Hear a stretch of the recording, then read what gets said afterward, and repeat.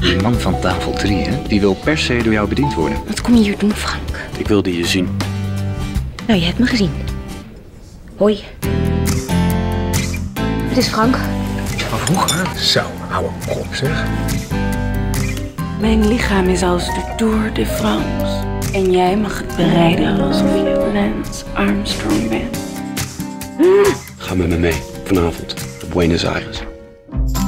Kan ik nog iets voor jullie betekenen? Advocaatbellen. Wat is jullie aller, allerduurste wijn? Massiamore uit Hoe 1904. duur is die? 600 euro. Oké, nou, verkocht. Wat? U weet zeker dat u... Jezus Christus, man. Ga die kutwijn halen nou. Kom op. Excuus, ik ben zo terug. Ja.